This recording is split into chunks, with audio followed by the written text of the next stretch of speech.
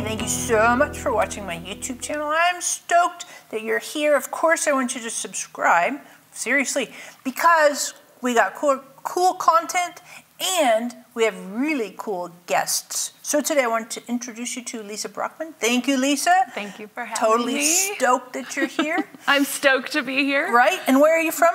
I'm from Orlando, Florida. Mm -hmm. Do you do like beach stuff? Oh, I love the beach. Mm -hmm. Yes. Mm -hmm. what, what, do you like the most on the beach? Just swimming in the waves. Hmm. Yeah. With so, my family. Is Orlando on the Gulf side? It's right in the middle. Oh, okay. So we always, well, it's a little bit closer to the East Coast, so we hit Cocoa Beach.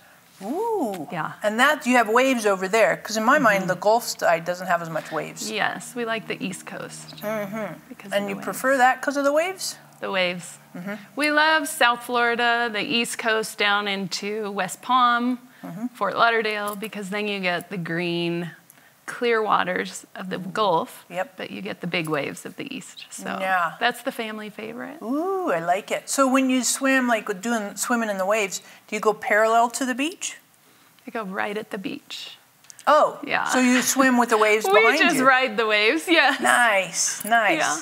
So I was in North Carolina. I was doing swimming, but mm -hmm. I Mm-hmm. like I kind of like to swim parallel to the beach. So then when the waves come, you know, you like turn your head, you know, because I'm actually I like to like that distance. Oh yeah, that's kind of fun. I'm not a distance swimmer. No, always a sprinter. I get that. I get that. and you played tennis. I did. So how long did you play tennis?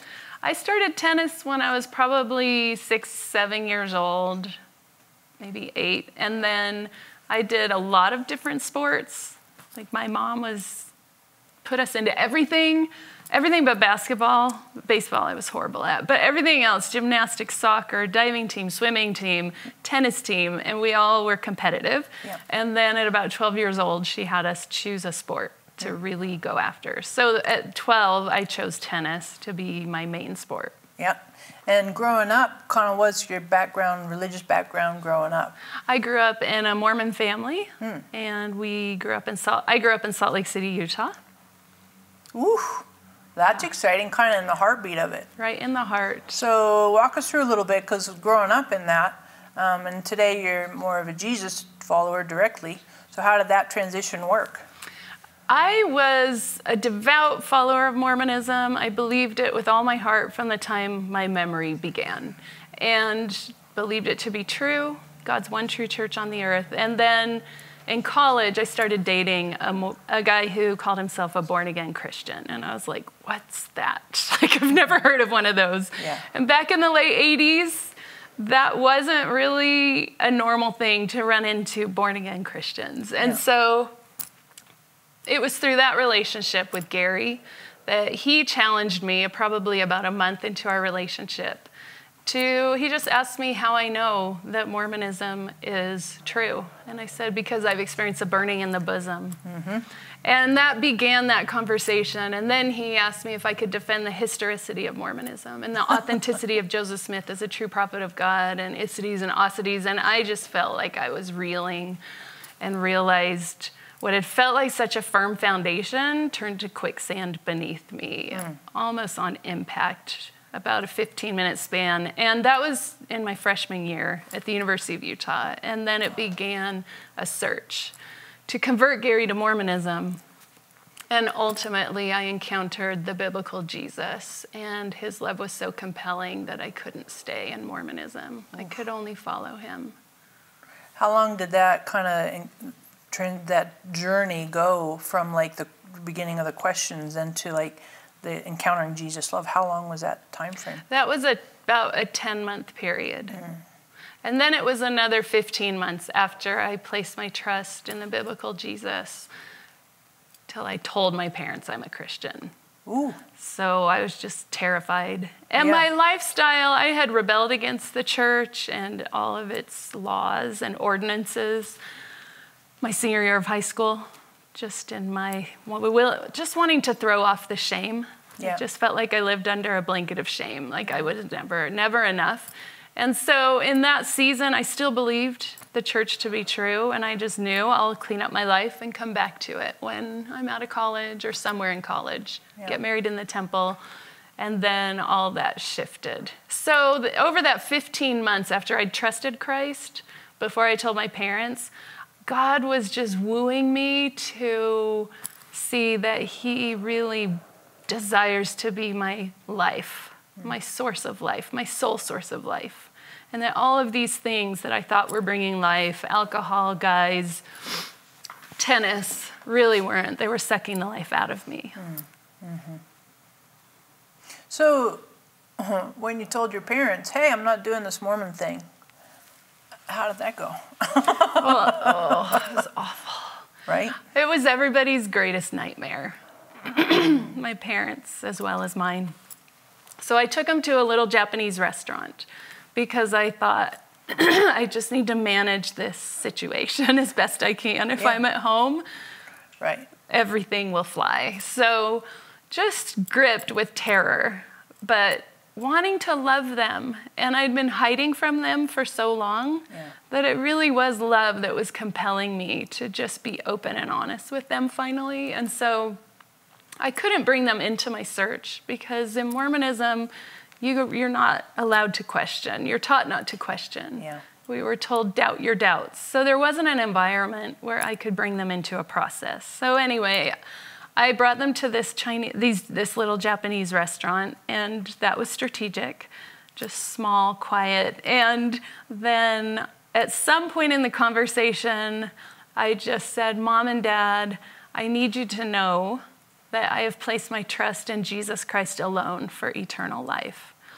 And my mom exploded, screamed, You've left us, you've left the family. Oof. And my dad just came at me talking doctrine and scripture and yeah. and then I just sat there and really my emotional memory just keeps me in that booth. Like I don't remember leaving.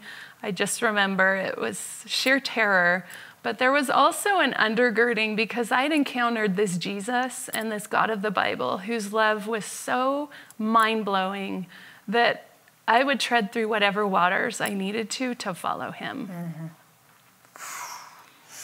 So then, uh, after you talked to them and kind of everything hit the fan, did they peel themselves off the roof and kind of how long did it? I mean, mm, I was... think it was a very heated following two years. Mm. Uh, my mom, it hit her in a way that was so emotional. Um, she fell into a depression mm. that became extremely severe. And so I spent lots of time with my family. They lived close to the university. Yep. And we would spend Sundays together, every Sunday dinner, and I just never knew what I was going to get. Yeah. And so I'd show up and I just was hoping we don't talk about it. Yeah. And then some days there were comments that started coming from my yeah. parents that were really harsh. And my dad it was more of his his angsty harshness. Yeah. And of course, I think they just their greatest nightmare had come true. Yeah. And so we were all just doing the best we could yeah. to survive yeah. these really torrential waters. Yeah, yeah, very, very turbulent. It's very, very turbulent. So, mm-hmm. from there, I mean, how'd you meet your husband? Well, I got involved. My boyfriend, Gary, who led me to Jesus, took me to a Campus Crusade for Christ meeting at the University of Utah at the end of my sophomore year. Yep. And Dennis was not there yet. Dennis had gone to the University of Utah 10 years earlier. Yeah. And then graduated and joined the staff of Crusade and went to that meeting. And then in the fall, Dennis came and was asked to come direct the ministry. Oh. And so I had not gotten involved right away. I was still partying, and God was weaning me off of these idols and addictions. But there was a staff woman that I'd met in the spring, and she was just chasing me around campus. Yeah. And so she chased me very, very diligently for probably three months into my junior year, and then she would catch me every once in a while and we would get together. Well, one of the times she caught me, at some point in the conversation, she said, Lisa, I think you should consider telling your parents you're a Christian. Ooh. And I just felt like she punched me in the gut. Yeah. I had just shelved that. Yeah. And I was like, oh, Lisa, that that's the most terrifying thing I could ever do. I'm not ready to do that. And she said, Well, here's a number of a man named Dennis Brockman. He's our director of our ministry. Call him. He said he'd be happy to talk through it with you. Mm. So I met Dennis over the phone, and after about 45 minutes, I had a crush on him. I was like, I've never seen him. I need to see this man who I have a crush on. Yeah. So that's how I met Dennis. Huh. And then he kind of helped walk you through some of those conversations potentially with your parents? I think, yeah, he was just a constant, steady support, as were all the staff members yeah. on that campus, in that campus ministry. Yeah, yeah, yeah. So fast forward a little bit. Now you have you have five kids. Yes. Um, and what are their age ranges?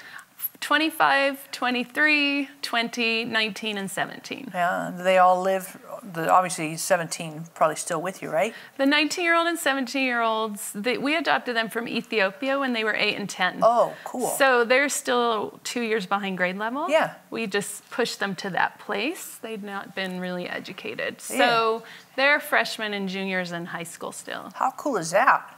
How so, cool is that? That's a journey. Yeah, yeah, it is a total journey. Yes. and that's like its own little adventure that's too. another huh? book. mm-hmm. I totally agree. Totally agree. So does everybody live around you? Right now they do. Yeah. Like our daughter's in West Palm Beach.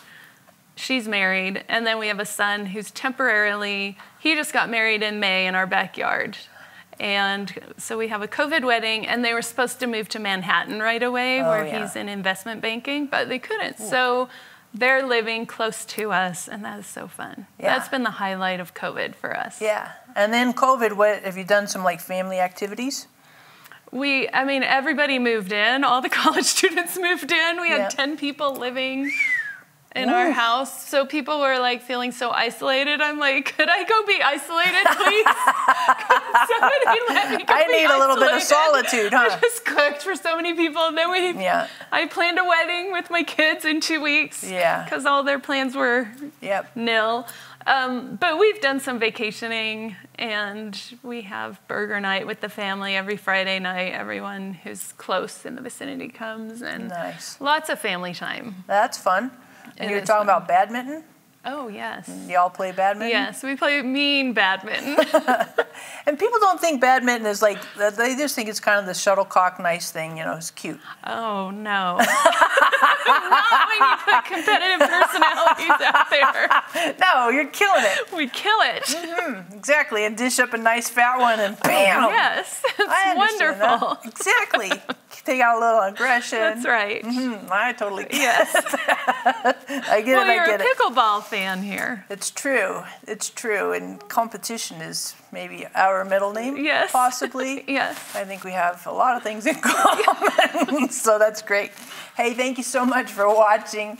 And I'd like to ask you this question What do you do? What's kind of your fun hobby? How do you kind of uh, exhale, you know, what, what, what puts wind in your sails? What do you enjoy doing? So thank you for watching. Thank you for subscribing. Of course, you want to hit the notification bell right there.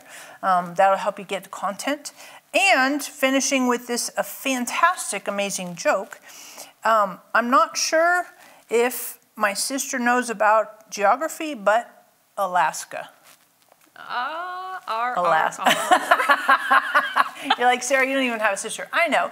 It's just a joke, right? So a little bit of la- little bit of laughter, and uh, thanks again for watching.